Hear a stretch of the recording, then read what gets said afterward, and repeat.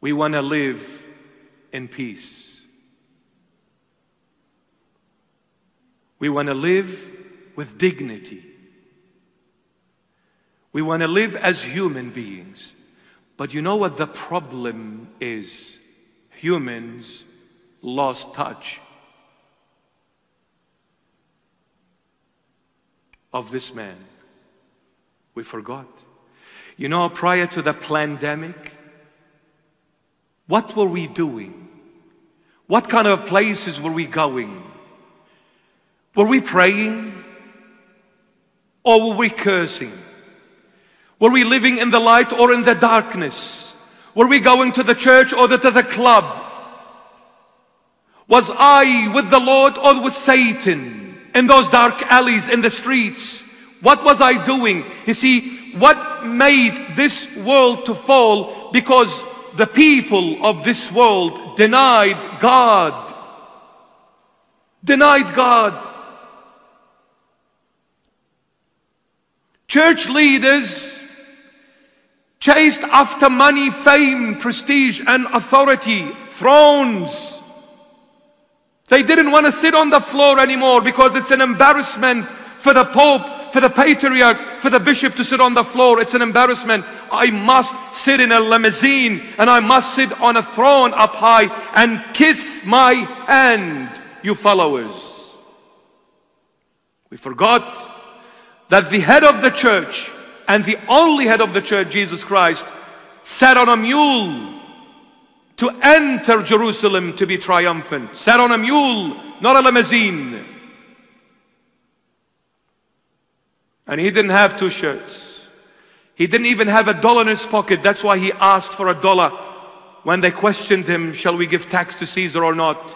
If he had a dollar in his pocket, he, would have, he wouldn't have asked. The Lord does not make up stories. But he was poor, money wise, yet he is the creator of this world and the next. His treasure never runs out. But in this world, he said, the birds of the sky have a nest to dwell in. The foxes have places to go and sleep. Yet the Son of Man has no place to rest his head on. Yet I am the creator. Everything is mine. But in this world, I lived as a total stranger. And the church wants to be like the world. The church is very powerful. We know so many politicians. We've got so much money. We've got so much power. We've allowed Freemason to infiltrate the church.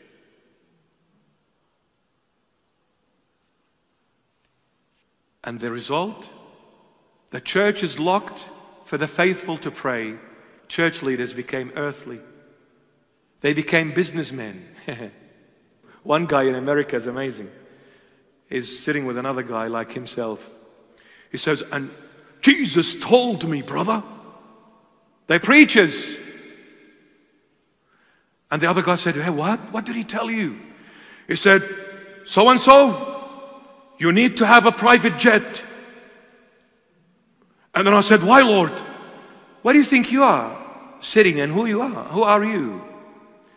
And I said, Why, Lord, do I need a private jet? He said, Because you need to carry my gospel to all four corners of the world. You need to fly in comfort. So I got a private jet worth 80 million US dollars. Uh, this Jesus must be very kind and generous. So Jesus came and said to you, get a private jet, $80 million.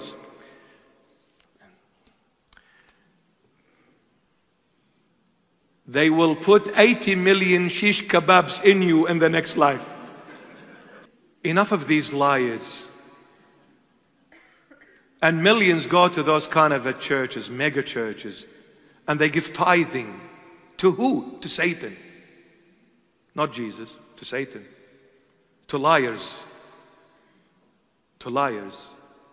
In the name of Jesus, they lie.